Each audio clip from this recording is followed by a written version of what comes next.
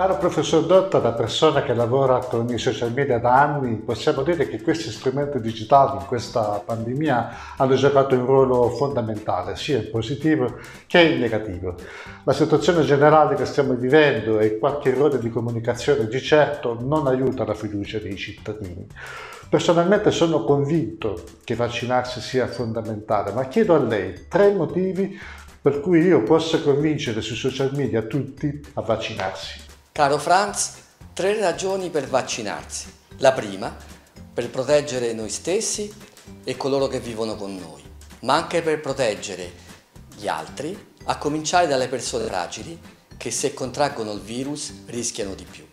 Ad esempio, da clinico che segue il diabete, i pazienti diabetici, che sono circa 4 milioni in Italia, so bene che se un mio paziente contrae il virus è più a rischio di ammalarsi gravemente.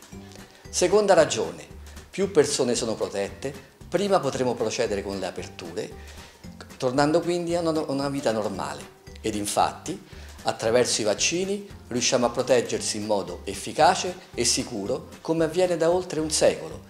Grazie ai vaccini, infatti, abbiamo eliminato o riusciamo a convivere con malattie altrimenti mortali che in passato riducevano drammaticamente la nostra speranza di vita.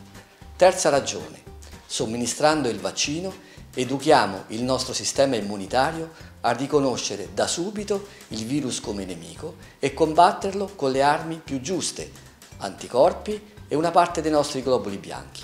Infatti sappiamo che nei soggetti non vaccinati, se si ammalano, il sistema immunitario attiva una sorta di guerra nucleare con tutte le armi possibili e immaginabili che però, invece di danneggiare il virus, spesso e volentieri danneggiano degli organi nostri vitali, come ad esempio i polmoni, con tutto ciò che ne consegue.